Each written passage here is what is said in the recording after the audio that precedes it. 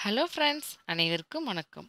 I'm Shri YouTube சேனலை subscribe பண்ணாதவங்க subscribe பண்ணுங்கள் பெல் பட்டனை மறக்காமல் கிளிக் பண்ணுங்கள் லைக் பண்ணுங்கள் கமெண்ட் பண்ணுங்கள் ஷேர் பண்ணுங்கள் ஸ்கிப் பண்ணாமல் இந்த வீடியோவை ஃபுல்லாக பாருங்கள் மிக்கானை மறையாய் விரிந்த விளக்கே என்னுள் புக்கானை கடிகை தடங்குன்றின் மிசையிருந்த அக்காரக்கனியை அடைந்துய்ந்து போனேனே என்று திருப்பாசுரத்தில் திருமங்கையாழ்வார் அக்காரக்கனியன ஸ்ரீ நரசிம்ம பெருமாளை போற்றி மங்களாசாசனம் செய்துள்ளிய திருத்தலம் மற்றும் விஸ்வாமித்திரர் ஒரு கடிகை நேரம் இம்மலையிலிருந்து இத்தலத்து இறைவனை வழிபட்டு பிரம்மரிஷி பட்டமும் பெற்ற திருத்தலம் ஷோலிங்க நரசிம்ம பெருமாளை இப்போது தரிசிக்கலாம். இப்பொழுது தலபுராணம் பற்றி தெரிந்து கொள்வோம். பக்த பிரகலாதனுக்காக காட்சி கொடுத்த நரசிம்மரின் அவதாரத்தை தாங்களும் தரிசிக்க வேண்டுமென வாமதேவர் வசிஷ்டர் கத்தியவர் அத்ரி ஜமத்கனி கௌதமர் பரத்வாஜர் ஆகிய சப்த ரிஷிகளும் இங்கு வந்து தவம் இருந்தனர். விஸ்வாமித்திரர் இத்தலத்தில் சிறிது நேரம் நரசிம்மரை வழிபட்டு வரம் பெற்றாராம். தங்களுக்கும் பெருமாளின் தரிசனம் கிடைக்க வேண்டும் எனும் ஆவல் கொண்டு அவர்கள் இங்கு தவம் இருந்தனர்.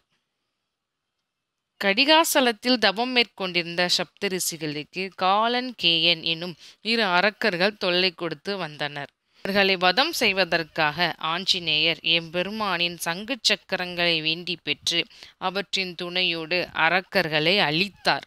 மகரிஷிகள் ஏழு பேரின் தவத்தினை மெச்சிய திருமாலும் திருக்கடிகைக்கு எழுந்தருளி நரசிம்ம மூர்த்தியாக காட்சியளித்தார்.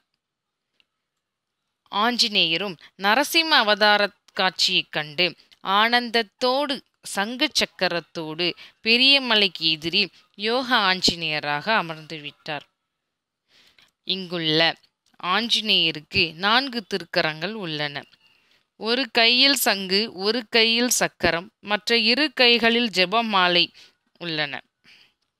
சிறிய மலையிலிருந்து பார்த்தால் யோக ஆஞ்சநேயரின் கண்கள் நேராக பெரிய மலையில் உள்ள யோக நரசிம்மரின் திருவடி நோக்கி அமைந்துள்ளது தெரியும்.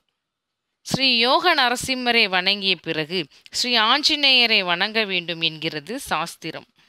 ஆண்டு முழுவதும் கண்மூடிய நிலையில் தியானத்தில் இருக்கும் யோக நரசிம்மர் கார்த்திகை மாதத்தில் மட்டும் கண் திறந்து பக்தர்களுக்கு அருள் பாலிப்பதாகவும் ஐதீகம். இப்பொழுது கோவில் பற்றி தெரிந்து கொள்வோம். பக்த பிரகலாதனுக்காக தூணில் இருந்து அவதரித்தவர் நரசிம்மர் அத்ரி காஷ்யபர் வசிஷ்டர் ஜமத்கனி கௌதமர் பரத்வாஜா விஸ்வாமித்திரர் என சப்த ரிஷிகளின் வேண்டுகோளுக்கு இணங்கி நரசிம்ம பெருமாள் சோலிங்கபுரம் தலத்தில் சாய்ந்த நிலையில் யோக முத்திரையோடு தியான கோலத்தில் காட்சியளிக்கிறார். இங்குள்ள பெரிய மலையின் உச்சியில் வடக்கு நோக்கியபடி ஐந்து நிலை ராஜகோபுரம் உள்ளது. அதனை கடந்தால் சாலக்கிராம மாலை அணிந்து மூலவராய் யோக நரசிம்மர் கிழக்கு பார்த்த வண்ணம் அருள்பாலித்து வருகிறார். அமிர்தவெளி தாயார் தனி சன்னதியில் பக்தர்களுக்கு அருள்பாலிக்கிறார். பொதுவாக பெருமாள் கோவில்களில் மூலவரின் கருவறையிலேயே உற்சவ திருமேனிகளையும் வீற்றிருக்க செய்வர். ஆனால் சோளிங்கரில் மட்டும் மூலவராக யோக நரசிம்மர் கிழக்கு நோக்கியபடி சிம்ம சோஷ்டாகிருதி விமானத்துடன் கூடிய கருவறையில் காட்சியளிக்கிறார். உற்சவர் பக்தோசித பெருமாள். சுதாவல்லி அமிர்தவல்லி எனும் தனது இரு தேவியருடன் மலை அடிவாரத்திலிருந்து ரெண்டு கிலோமீட்டர் தொலைவில் தனிக்கோவில் கொண்டுள்ளார். அங்கு அமிர்தவள்ளி தாயார் தனித்தனி சன்னதி கொண்டுள்ளனர். இங்கு அமிர்த தீர்த்தம் பிரம்ம தீர்த்தம் ஆகியவை பக்தோசித பெருமாள் கோவில் அருகில் உள்ளன. பில்லி சூனியம் ஆகியவற்றால் பாதிக்கப்பட்டவர்கள் பிரம்ம தீர்த்தத்தில் நீராடி மலை மீது அமர்ந்து அருள்பாலிக்கும் யோக நரசிம்மரையும் யோக ஆஞ்சநேயரையும் வணங்கினால் நோயில் நீங்க பெறலாம் என்பது நம்பிக்கை. ஆழ்வார்களால் மங்களாசாசனம் செய்யப்பட்ட நூற்றி எட்டு திவ்ய தேசங்களில் இது அறுபத்தி ஐந்தாவது திவ்ய தேசமாகும். இத்தலத்தில் உள்ள ஸ்ரீ நரசிம்மரை வணங்கினால் குழந்தையின்மை திருமணத்தடை ஆகிய கஷ்டங்கள் தீரும் வியாபார நஷ்டம் விலகி லாபம் பெருகும். கோவிலில் நடைபெறும் விசேஷ உற்சவங்கள் பற்றி தெரிந்து கொள்வோம். சித்திரை மாதத்தில் சித்திரை பெருந்திருவிழா பத்து நாட்கள் மற்றும் ராமானுஜர் விழா பத்து நாட்கள் நடைபெறும். வைகாசி மாதத்தில் நரசிம்ம ஜெயந்தி வசந்த உற்சவம் வைகாசி கருட சேவை மற்றும் நம்மாழ்வார் விழா பத்து நாட்கள் நடைபெறும். ஆணி மாதத்தில் கோடை திருநாள் மூன்று நாட்கள். பரதத்துவ நிர்ணயனம் கருட சேவை மற்றும் ஆதிகேசவ பெருமாளுக்கு வருஷ திரு நட்சத்திரமான திருவோண விழா நடைபெறும். ஆடி மாதத்தில் ஆண்டாள் திருவாடிப்புற விழா பத்து நாட்கள். திருவாடிப்புறத்தன்று திருக்கல்யாண புறப்பாடு ஆடி பௌர்ணமி கஜேந்திர மோட்ச கருட சேவை மற்றும் சேஷ்டாபிஷேக விழா நடைபெறும். ஆவணி மாதத்தில் திருப்பவி உற்சவம் ஏழு நாட்கள் பெரிய மலையில் நடைபெறும். புரட்டாசி மாதத்தில் நவராத்திரி உற்சவம் பத்து நாட்கள் நடைபெறும். ஐப்பசி மாதத்தில் ஊஞ்சல் திருவிழா ஐந்து நாட்களும் மணவாள மாமுனிகள் பத்து நாள் உற்சவம் தீபாவளி ஆஸ்தானம் மற்றும் வனபோஜனம் விழா நடைபெறும். கார்த்திகை மாதத்தில் பெரிய மலையில் ஒவ்வொரு வெள்ளிக்கிழமைகளிலும் சிறிய மலையில் ஒவ்வொரு ஞாயிற்றுக்கிழமைகளிலும் உற்சவ புறப்பாடு திருமஞ்சனம் முதலிய விசேஷம் நடைபெறும். கார்த்திகை தீபத் திருவிழா திருமங்கையாழ்வார் பத்து நாள் உற்சவம் அனுமன் ஜெயந்தி சின்னமலையில் ஸ்ரீ ஆஞ்சநேயருக்கு விசேஷ உற்சவம் நடைபெறும். மார்கழி மாதத்தில் பகல்பத்து திருநாள் வைகுண்ட ஏகாதசி முக்கோடி துவாதசி தீர்த்தவாரி உற்சவம் ராப்பத்து திருநாளும் இறுதி நாளில் நம்மாழ்வால் பரமபதம் புகும் திருவடி தொழும் விழாவும். ஆண்டாள் மார்கழி நீராட்டம் மூன்று நாள் நடைபெறும். ஜனவரி முதல் தேதி திருப்படி திருவிழா நடைபெறும். தை மாதத்தில் பொங்கல் அதாவது சங்கராந்தி ஆண்டாள் திருக்கல்யாணம் பரிவேட்டை கிரி பிரதட்சணம் தைப்பூசம் தை அமாவாசை தொடங்கி தெப்ப உற்சவம் மூன்று நாள் நடைபெறும்.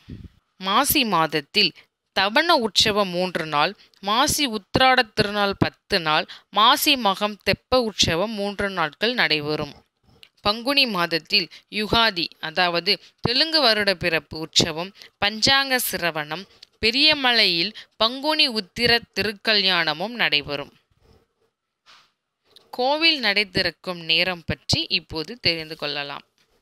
காலை ஏழு மணி முதல் ஒன்பது மணி வரை அபிஷேகம் ஆராதனைகள் நடைபெறும். காலை பத்து மணி முதல் இரவு ஏழு மணி வரை தரிசனத்துக்காக பக்தர்கள் அனுமதிக்கப்படுவார்கள். கார்த்திகை மாதம் வெள்ளிக்கிழமைகளில் அதிகாலை ஐந்து மணிக்கு நடை திறந்து சுப்பிரபாத பூஜை நடைபெறும்.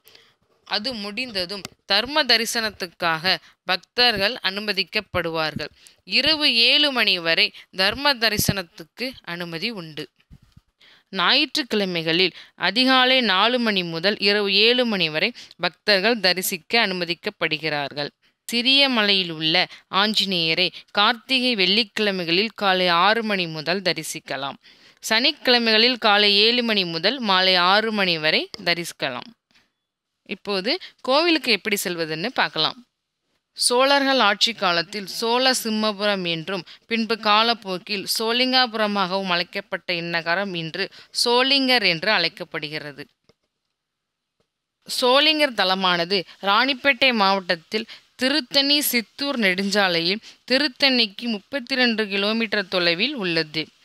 இக்கோவில் சென்னையிலிருந்து நூறு கிலோமீட்டர் தொலைவிலும் வேலூரிலிருந்து ஐம்பத்தி நான்கு கிலோமீட்டர் தொலைவிலும் அரக்கோணத்திலிருந்து முப்பது கிலோமீட்டர் தொலைவிலும் திருத்தணியிலிருந்து இருபத்தி ஏழு கிலோமீட்டர் தொலைவிலும் உள்ளது. சென்னையிலிருந்து ரயிலில் வருபவர்கள் அரக்கோணம் சென்று அங்கிருந்து பஸ் மூலம் சோளிங்கர் நரசிம்மர் கோயிலை சென்றடையலாம். வெங்கட்ராமா கோவிந்தா கோவிந்தா. நாம் இப்பொழுது ஸ்ரீ நரசிம்மரையும் யோக ஆஞ்சநேயரையும் பற்றி சில தகவல்கள் தெரிந்து கொண்டோம். இக்கடவுளின் ஆசி பெற்று அனைவரும் நலமுடன் வாழ்வோம். இந்த வீடியோ உங்களுக்கு பிடிச்சிருந்தா அமிஸ்ரீ யூடியூப் சேனலில் சப்ஸ்கிரைப் பண்ணாதவங்க சப்ஸ்கிரைப் பண்ணுங்கள் பெல் பட்டனை மறக்காமல் கிளிக் பண்ணுங்கள் லைக் பண்ணுங்கள் கமெண்ட் பண்ணுங்கள் ஷேர் பண்ணுங்கள் நன்றி வணக்கம்.